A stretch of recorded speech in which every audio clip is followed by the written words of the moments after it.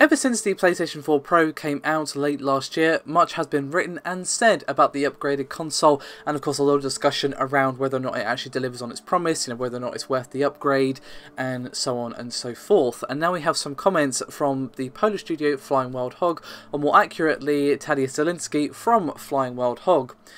Now, of course, the main sort of discussion and question around the PS4 Pro is, is it actually powerful enough to deliver true 4K gaming?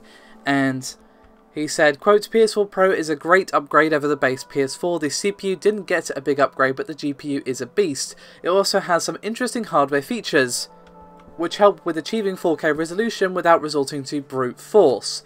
Which obviously, of course, means that, you know, there's some tricks and sneakiness, or not sneakiness, but you know what I mean, some tricks going on to get 4K pushed through the machine given that the power on the CPU side is a little bit lacking in comparison to the GPU. Of course, I'm referring to things such as checkerboard rendering and other tricks that developers can actually use to get 4K going through the PS4 Pro. Now, one of the other main features of the PS4 Pro is of course the ability of the console to perform two 16-bit operations simultaneously instead of one 32-bit operations. And Mark Cerny of course said that this has the potential to radically increase the performance of games. And on this particular topic, he said, quote, half precision, that being 16-bit instructions, are a great feature.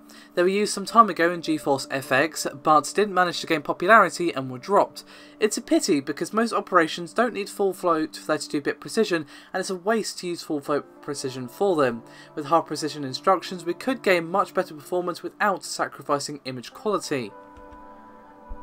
And to be honest, out of the features that the PS4 Pro brings, PS4 Pro rather brings to the table, is that ability to have a half precision float. As of course, it just makes what you have available to you more efficient and effectively double what you actually have available to you.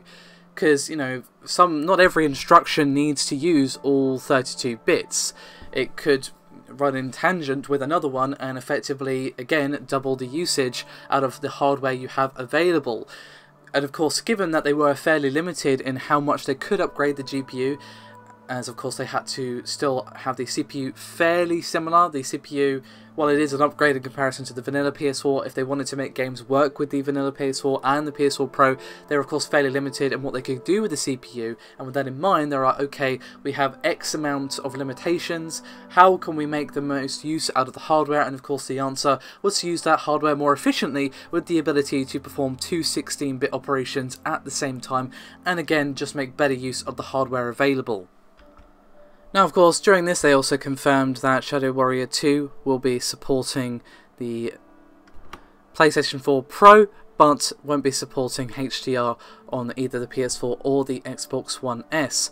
And of course, regarding the Xbox One, the so the question now remains as to what's actually going to be happening with the Xbox Scorpio. Now, I would fully expect to see a reveal of this particular upgraded console at E3. Of course, we saw a little bit of a sneak preview last year where they revealed that yes, it is indeed a thing, but they didn't really say anything other than the fact that it has 6 T-flops, which means basically nothing without, you know, 6 T-flops on what?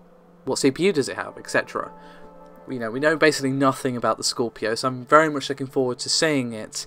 And given that Microsoft have been pushing as of late that it will be do indeed doing 4K 60 FPS, it's going to be really interesting to see the response to that, and of course how the PlayStation 4 Pro actually fares against that particular console. Of course, pricing, game support, what games it has, just generally speaking, is definitely going to be critical because you can have all the power in the world, but if you don't have interesting games, then it doesn't really matter.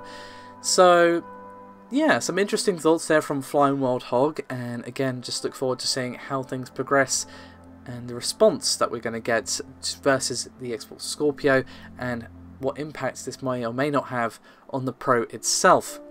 Thank you very much for watching though guys, I'd love to hear some thoughts and opinions on everything discussed here. As always, your support is very much appreciated, and I'll see you next time.